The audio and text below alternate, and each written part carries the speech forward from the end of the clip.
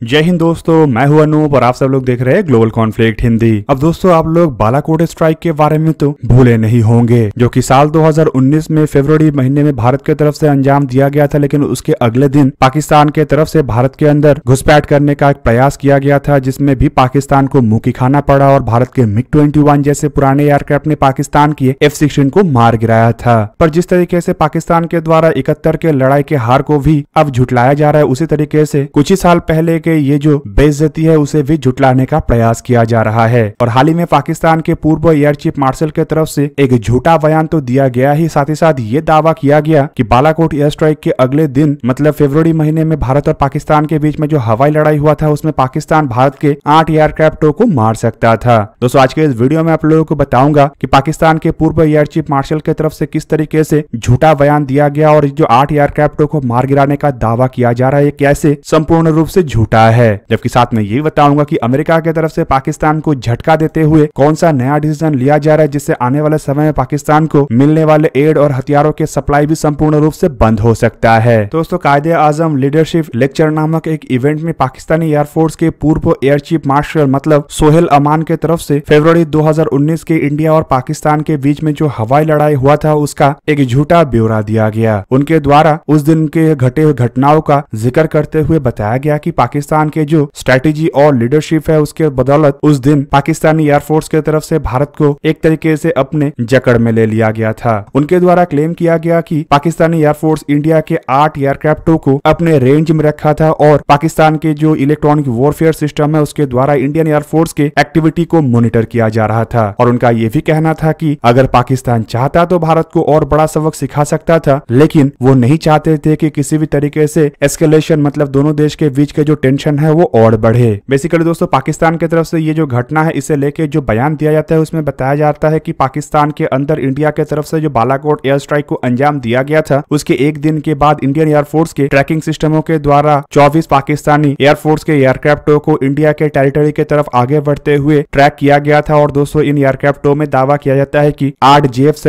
मतलब जंग फाइटर आठ मिराज फाइव और मिराज थ्री श्रेणी के एयरक्राफ्ट और आठ एफ़ सिक्सटीन एयरक्राफ्ट के साथ साथ एक साफ़ एरा आई एवैक्स एयरक्राफ्ट था। हालाँकि दोस्तों, जब पहली बार इंडिया की तरफ़ से बताया गया था कि पाकिस्तान एफ़ सिक्सटीन एयरक्राफ्टों के द्वारा भारत के ऊपर हमला करने का प्रयास किया था तो पाकिस्तान की तरफ़ से सभी बातों को नकारते हुए ये कहा गया था कि पाकिस्तान ने एफ़ सिक्सटीन एयरक्राफ्टों का इस्तेमाल ही नहीं किया और केवल मात्र जे एफ़ सेवेंटीन एयरक्राफ्टों के द्वारा ही हवाई सुरक्षा दिया जा रहा था। पर अब पाकिस्तानी मीडिया की तरफ़ से ये बताया जाता है कि वहाँ पे एफ़ सिक्सटीन एयरक्राफ्ट भी था। और दोस्तों, इससे ही आप समझ सकते होंगे कि पाकिस्तान कैसा दोगला देश है और किस तरीके से केवल मात्र झूठ के सहारा लेते हुए अपने जनता को बेवकूफ़ बनाता है। जबकि दोस्तों तो अगर देखा जाए तो पाकिस्तान के इन 24 एयरक्राफ्टों को काउंटर करने के लिए भारत के द्वारा आठ एयरक्राफ्ट मतलब पाकिस्तान के मुकाबले में करीबन एक तिहाई शक्ति का इस्तेमाल किया गया था, जिनमें दो मिराज टू थाउज़ेंड दो सुखु थर्टी एम और चार मिग ट्वेंटी वन जैसे एयरक्राफ्ट था। हालाँकि दोस्तों, इन आठ एयरक्राफ्टों में से पाकिस्तान के पूर्व एयर चीफ मार्शल की तरफ़ से दावा किया जा रहा है कि छह एयरक्राफ्टों को पाकिस्तान मार गिरा सकता था, लेकिन उस दिन की अगर घटना को देखा जाए तो पाकिस्तान के द्वारा अपने एफ़ सिक्सटीन एयरक्राफ्टों से पाँच से छह एमराम मिसाइलों को केवल मात्र एक सुखोई थर्टी एम के एयरक्राफ्टों के खिलाफ दागा गया था, लेकिन उनमें से कोई भी मिसाइल काम नहीं कर सका, क्योंकि सुखोई थर्टी एम के एयरक्राफ्टों के पास जो इलेक्ट्रॉनिक वॉरफेयर कैपेबिलिटी है, वो सभी मिसाइलों को डॉस कर दिया था।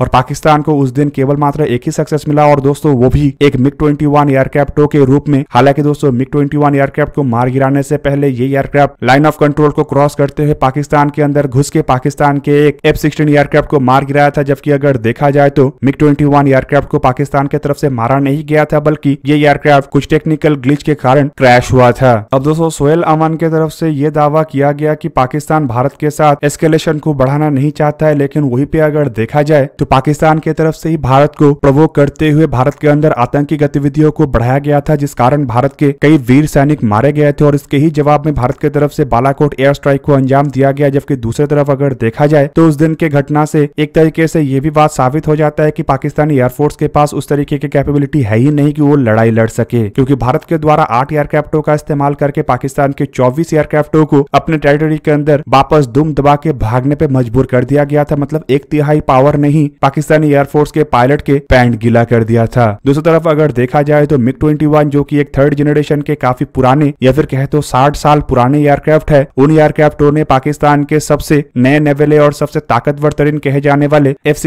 को ही मार गिराया था। हालाँकि हालाँकि पाकिस्तान की तरफ़ से पहले कुछ महीने तक ये बात को छुपाया गया और ये कहा गया कि पाकिस्तान ने किसी एफ़ सिक्सटीन एयरक्राफ्ट का इस्तेमाल ही नहीं किया, लेकिन भारत की तरफ़ से पक्का सबूत देते हुए एमराम मिसाइलों के मलबे को दिखाया गया, जो केवल मात्र पाकिस्तान के एफ़ सिक्सटीन एयरक्राफ्टों के द्वारा ही इस्तेमाल किया जा सकता है। पाकिस्तान जंग फाइटर को अपने सबसे बेस्ट एयरक्राफ्ट कहता है, लेकिन दोस्तों, अगर देखा जाए तो इस लड़ाई में आठ जंग फाइटर तो था, लेकिन पाकिस्तान डर के मारे इसे भारत के बॉर्डर के पार नहीं लाया, क्योंकि पाकिस्तान को पता था कि ये अगर इधर आया तो भारत इसका शिकार करेगा और पाकिस्तान के जंग फाइटर अगर इंडियन एयरफोर्स के शिकार हुआ तो इससे पाकिस्तान का तो रेपुटेशन जाएगा ही साथ में चाइना के मुँह पे भी एक तमाचा पड़ेगा और इससे चाइना अगर नाराज़ हुआ तो पाकिस्तान का हुक्का पानी बंद हो सकता है। हालाँकि दोस्तों, पाकिस्तान के हुक्का पानी का अगर बात कहा जा रहा है तो यहाँ पे आपके जानकारी के लिए बता दू की अमेरिका की तरफ़ से पाकिस्तान को एक बड़ा झटका देने का तैयारी किया जा रहा है और यूएस के कुछ लॉ मेकर्स मतलब यूएस के कुछ ऐसे पॉलिटिशियंस है जो पाकिस्तान को अमेरिका के नॉन नेटो एलाई के खिताब से संपूर्ण रूप से बाहर करने को लेके एक बिल पेश किया है। दोस्तों, अमेरिका के द्वारा पाकिस्तान को सोवियत यूनियन के साथ लड़े जाने वाले लड़ाई के दरमियान मेजर नॉन नेटो एलाई का खिताब दिया गया था और दोस्तों, इस खिताब के ही बलबूते पे पाकिस्तान अब तक अमेरिका से बड़े बड़े हथियारों को हासिल कर रहा था। और दोस्तों, एक मेजर नॉन नेटो एलाई होने के कारण अमेरिका भी आसानी से अपने नियमों को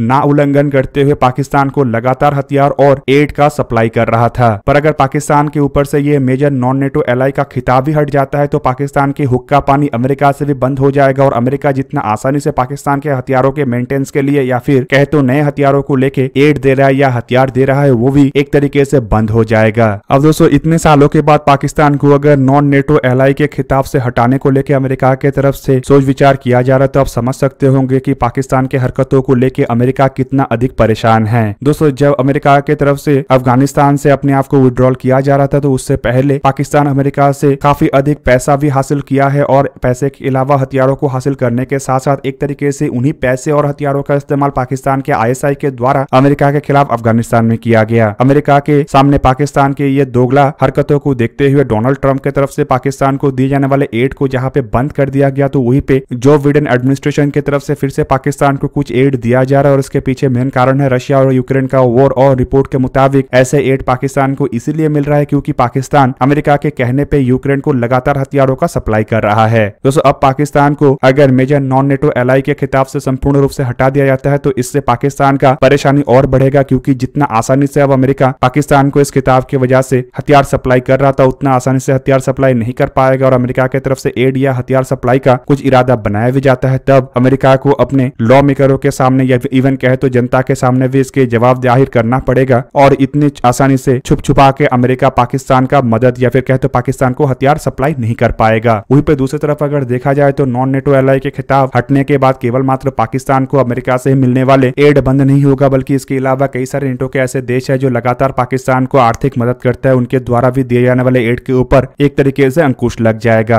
हालाँकि दोस्तों, इससे भी बड़ी बात यह होगा की पाकिस्तान के पास फ़िलहाल जो अमेरिकी हथियार है, वो भी एक तरीके से अपग्रेड और मेंटेन करने के लिए पाकिस्तान का हालत खराब होने वाला है, क्योंकि नॉन नेटो एल के खिताब जाने के बाद पाकिस्तान को ऐसे मेंटेनेंस के लिए भी संपूर्ण भुगतान करना पड़ेगा। इवन अमेरिका के तरफ़ से भी ऐसे मेंटेनेंस के लिए पाकिस्तान से और भी कई तरीके के महत्वपूर्ण शर्तों के ऊपर हामी भरवाया जाएगा और अमेरिका मेंटेनेंस को लेकर भी कई तरीके के चेक एंड बैलेंस रखेगा। तो दोस्तों, ये था आज का वीडियो अगर आपको वीडियो अच्छा लगा तो लाइक कीजिए और मेरे चैनल को सब्सक्राइब कीजिए और साथ में बना हुआ बेलाइकन को भी प्रेस कर दीजिए ताकि आप मेरा वीडियो देख पाए सबसे पहले। जय हिंद।